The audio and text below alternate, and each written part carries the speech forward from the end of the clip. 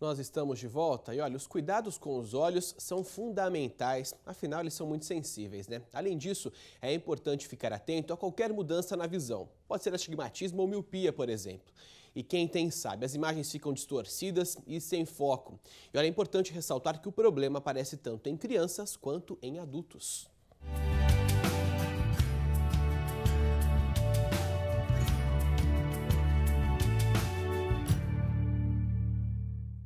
Isabela está com 3 anos de idade e usa óculos há alguns meses. Antes, as cores e tudo que a menina enxergava à volta dela ficava embaçado, confuso. Um dia, a mãe da Isabela descobriu que a filha não reconhecia mais as pessoas. Passou um carro e buzinou o carro na frente de casa. E ela saiu correndo na porta para ver.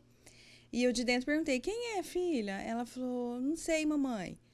E daí eu fui na porta para ver, eu consegui ver nitidamente que era o meu pai. E ela tem contato com meu pai, não teria como ela não reconhecer, né? Os óculos ajudaram Isabela a ver as coisas como elas realmente são. Assistir TV, por exemplo, ficou diferente.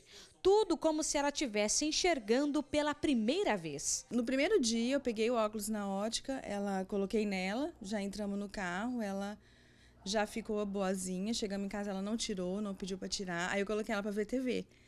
Aí ela ficava assim, né, olhando, eu falei, e aí, filha, né? É, você tá conseguindo ver melhor? Aí ela tô, ela ficava assim, sabe, encantada. O astigmatismo, quando a pessoa enxerga como se as imagens ficassem misturadas, atinge mais de 30% da população.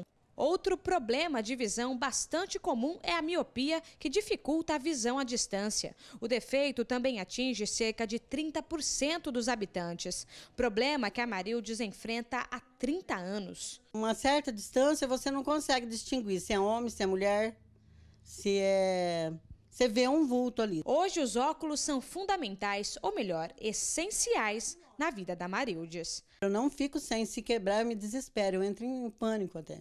A nossa dependência da tecnologia também prejudica bastante a nossa visão. O uso dos aparelhos, que estão cada vez menores e exigem muito esforço dos nossos olhos, faz a gente ter que carregar este auxílio aqui. Talvez você precise deles no futuro ou quando menos esperar. O uso dos óculos é o principal tratamento. O óculos é o mais comum. Sendo a primeira vez, tem, tem que passar óculos. Infelizmente, o óculos resolve, na maioria dos casos.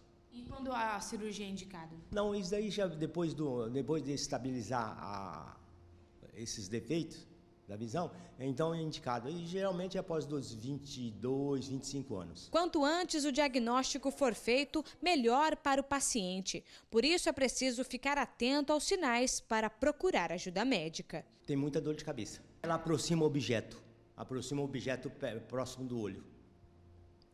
Aproxima, às vezes coça muito a vista. A miopia é vista bem, bem embaçada, borrosa. E a hipermetropia, o olho fica meio cansado.